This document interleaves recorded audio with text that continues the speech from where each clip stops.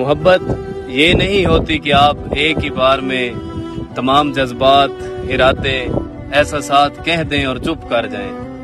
आप किसी को उठाकर पूरी नर्सरी दे दें और उसे ये समझ ही ना आए कि कौन सा फूल किताब में लगाना है और कौन सा फूल बालों में सजाना है। तो बेहतर यही है कि आप एक फूल दें मगर रोज़ाना।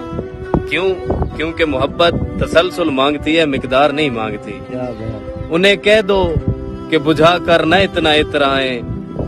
उन्हें कह दो कि बुझा कर न इतना इतराए, चिराग पर तो मेरा इन्हिसार था ही नहीं। गिला करें जिन्हें तुझसे बड़ी उम्मीदें थी।